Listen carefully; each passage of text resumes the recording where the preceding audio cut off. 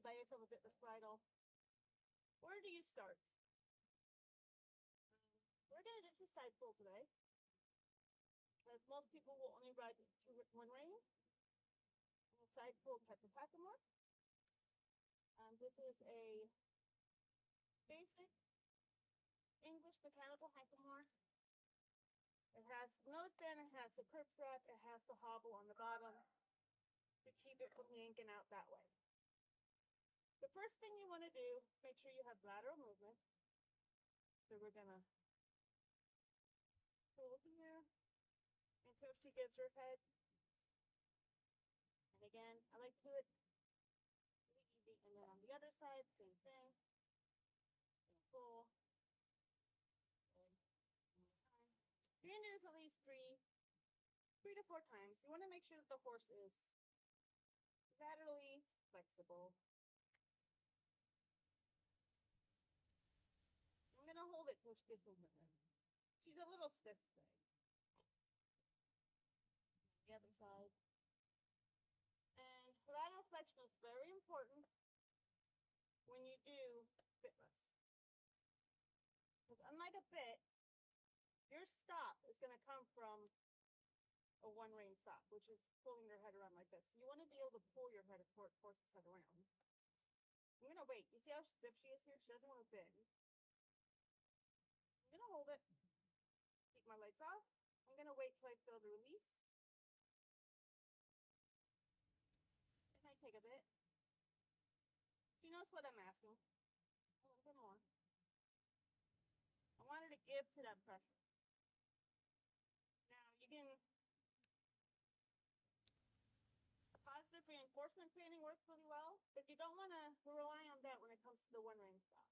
Okay, this is the one instance where you definitely want to be able to do the pressure release. Always real stiff on this side, so we're going to work on this side a little bit more. Want to give. Just wait. And wait. And a reminder, hey, gotta turn your head. On this side, she's very nice and soft on this side. On the right. Left side, however, I'm like having the strain.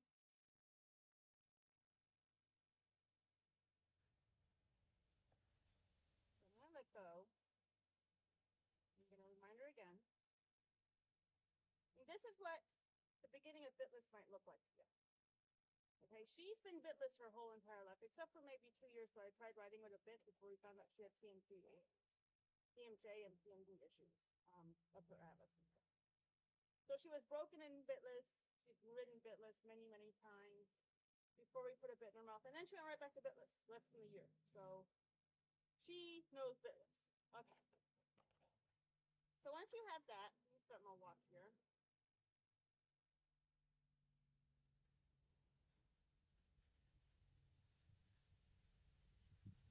I need to track my riding so I can report it in my app. Oh.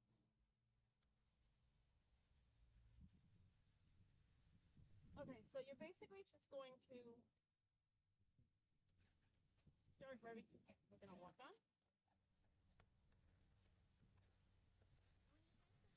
Don't go any faster than a walk. All your exercises are going to come from the horse learning to move of their legs. Okay? You're not going to worry about anything other than the horse moving off of your leg. Anything other than that is not going to work really well. So if I want to go left, uh, right, I'm my left leg on her. I'm going to squeeze and try not to use my.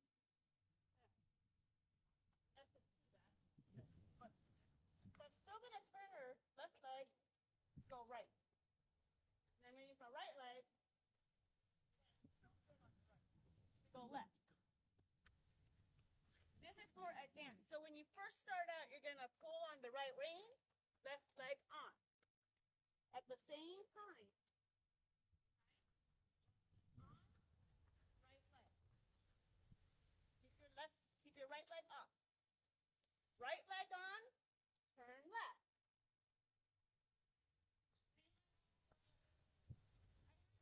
Why do I want to use my legs when I'm riding.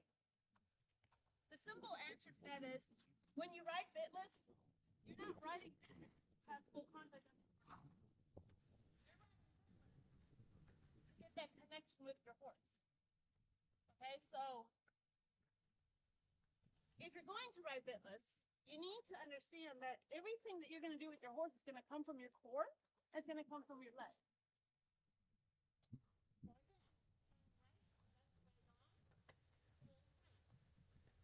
And you're only going to do this until the horse understands that that's what you want.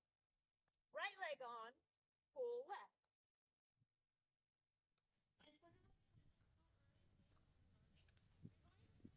Inside leg off of the horse. Okay, we're not doing anything with the inside leg. Normally, you would do it right leg um, on the horse, by the girth, the, uh, left leg slightly behind the girth.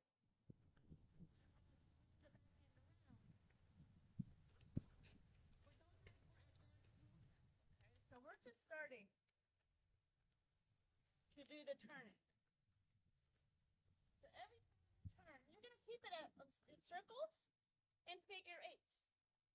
That's all you're gonna be doing for the first couple of days because you want the horse to understand that that's what you want.